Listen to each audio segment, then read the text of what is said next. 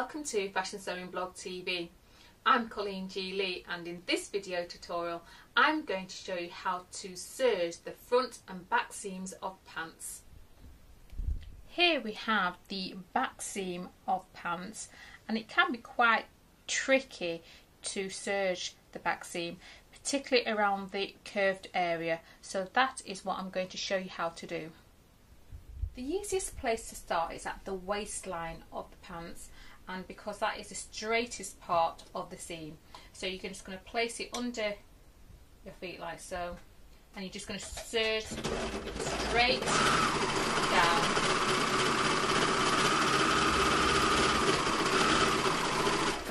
And when you come to this part here, the curve, which area here, you want to gently guide and position your work as straight as possible. So there's the curve and I'm guiding, I'm not stretching because you don't want to stretch your fabric and then I'm going to just guide you through and then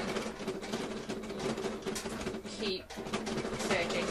Just guiding it through, guiding it to the end of the seam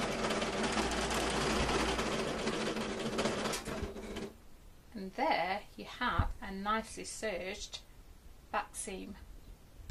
The thing to remember when serging the back seam of pants is to start at the waistline seam and as you come down the waistline seam it's the straightest part. And when you come to about here this is when you need to think about curving you're thinking of curving your seam. But don't do that. When you get to here you gently just stretch your work out. You're not pulling you're just allowing for the straightness of the seam so that you can have a perfectly curved finished seam like this.